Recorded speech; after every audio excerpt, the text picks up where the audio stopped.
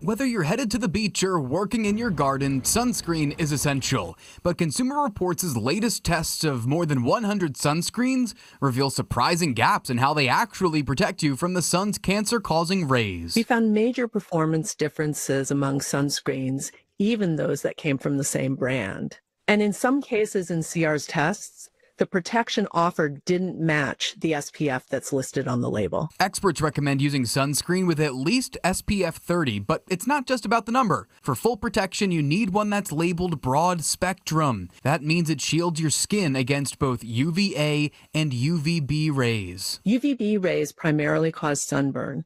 UVA rays contribute to premature skin aging, both types contribute to the risk of skin cancer, which remains the most common kind of cancer in the United States. To evaluate SPF, the measure of how well a sunscreen shields against UVB rays and water resistant sunscreens, testers apply sunscreen to a small section of a panelist's back after a soak in a tub for either 40 or 80 minutes, depending on the product's water resistance claim.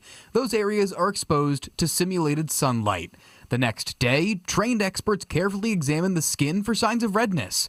The testing for non water resistant sunscreens involves the same steps except for water immersion. For UVA protection, sunscreen is applied to plastic plates, which are then exposed to UV light. Instruments measure how much of the harmful rays are absorbed, giving a clear picture of how well the product protects. This year, Coppertone Water Babies Lotion SPF 50 stood out among lotions, earning high marks in both UVA protection and SPF performance.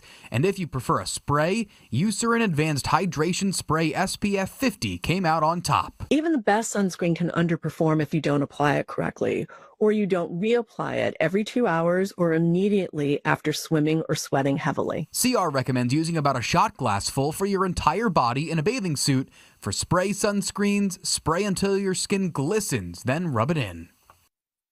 And a reminder that you should be using sunscreen all year round, not just during the summer months, especially on your face and other areas not covered by clothing. For the latest consumer headlines sent right to your inbox, sign up for our consumer newsletter, scan that QR code that's on your screen right now, or you can go to our website, wmur.com slash subscribe. There you will get product reviews, ways to save money, and warnings about the latest scams.